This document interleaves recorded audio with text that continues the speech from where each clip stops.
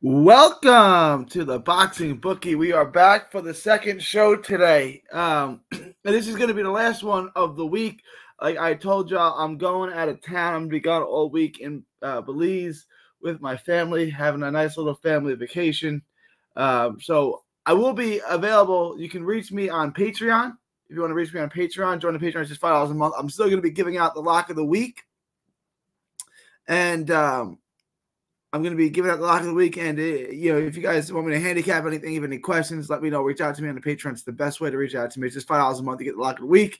You can ask me anything. Ask me handicap any fight. Get a free T-shirt. It's just five dollars a month, and it helps me.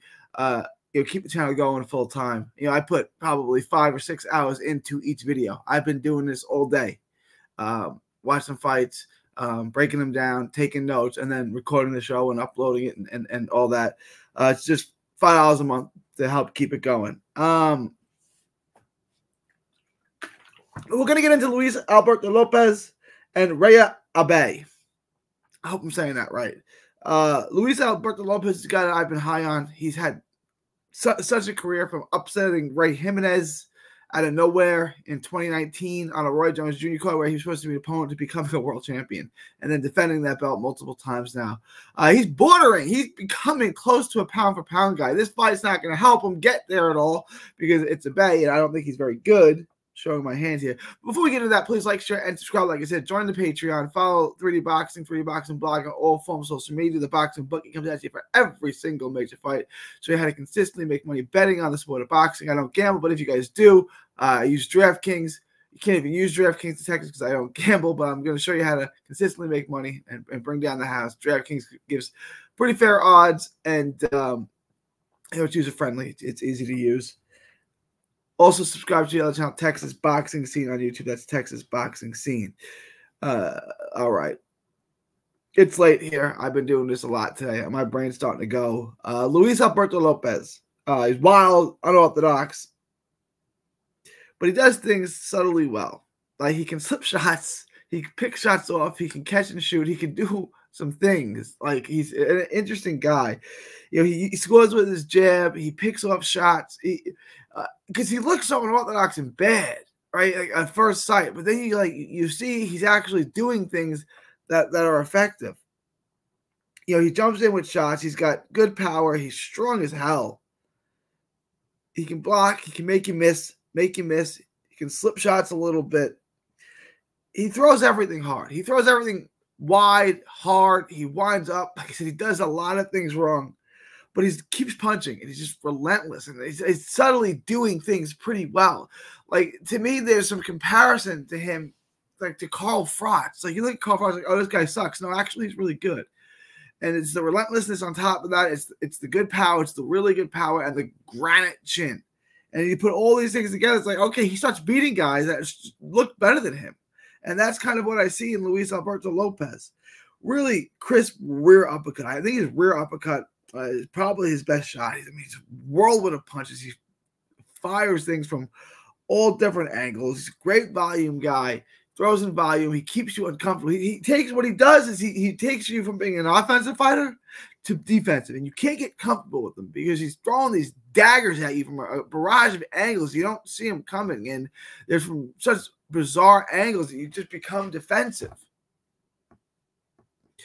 so he's really, really good at making you fight his fight and, and making you think and, and make giving you different looks and making you uncomfortable.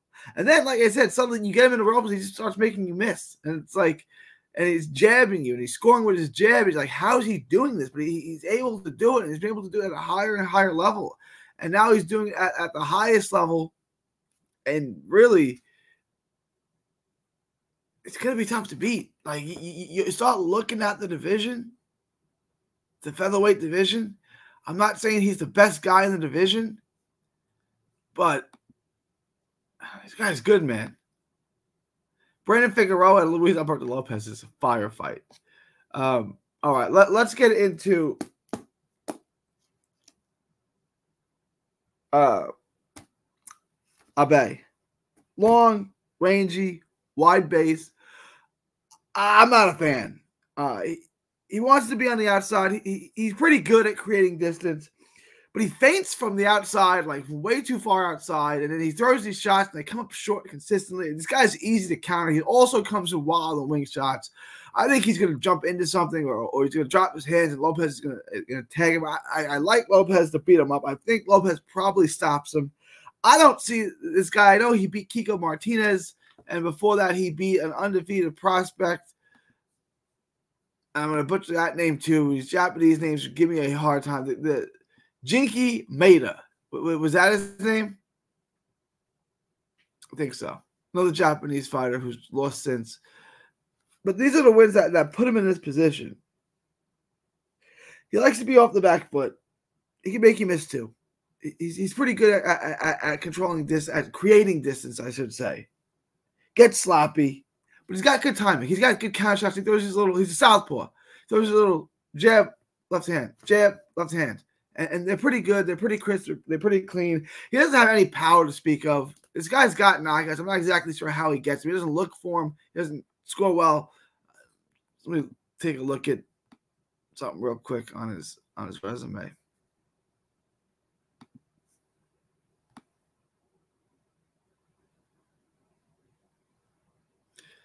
He got a stoppage back in uh, 2021, and then it's been a while. Yeah. Then before that, it, it, it's club level fighters that she stopped. He's not a puncher. He's not. He's not going to get a stoppage. You know, the question is, does he get stopped? He's easy to hit. If you can get in and close the range on him, he's easy to hit. And and, and how unorthodox and how awkward Lopez is, he's going to be able to get inside and score on him. He's, he's not a, a difficult guy to hit. He lunges in, he's wide open. So I mean, uh, he, there's just so many flaws in, in, in his game, and fundamentally, he's not good. He's not what you expect from a typical Japanese fighter. Like I said, he gets sloppy, lunges, drops his hands. I think he ultimately gets stopped. But let's take a look at the book. Let's show you how we're gonna make money on this. Uh, you guys want to update? Join the Patreon, and when they add the props, I'll let you know. But right now, they just have the fight line, the uh, money line. Money line, he's minus 800. I think that's fair. I don't really think Abe should be getting a title shot. I don't think he's that caliber of fighter. I think Luis Alberto Lopez is really good. So I'm going to make this a two times bet. A two times bet only makes you a two hundred dollar bet only makes you twenty five bucks. The, the, the, line's that wide. It's eight hundred. This is probably good to, to use in a parlay as well. I'll probably give you guys a parlay here. I'm really there's a lot of fights I'm interested in. Uh, yeah, I got to do this one. It's, it's, a world title fight. It's the co-main on the biggest card. I think. Which one's the main and which one's the co-main? It doesn't matter. But this, I, I think Lopez probably stops him too. I, I, would probably feel comfortable taking him by stoppage. But let's just lock in the money here. Two times bet, easy money. Take the twenty five dollars on the two hundred dollar bet. Lock in. Move to something else. I wish the odds were a little better, but I actually think these odds are reasonable. I don't think this is ultimately competitive. I don't really see Abe having a path to victory, and I think he probably gets stopped. Let me know what you guys think. Leave your thoughts, comments below. Please like, share, and subscribe. Follow the Boxing Bookie on all forms of social media. Remember, this is going to be my last show of the week. So if you're watching this, there's nothing until next week. I'm going to be out of town with my family in Belize, but I'll have my phone. I'm going to be able to respond to Patreon and um, things like that. So if you have any questions, join the Patreon. You'll get the lock of the week. You'll make a ton of money on the lock of the week, and um, you can eh, still ask me to handicap or break anything down through the Patreon. The link is in the description. Join the Patreon. Like, subscribe, follow me all forms. It is February 25th, 2024, from Texas to the world. Thank you.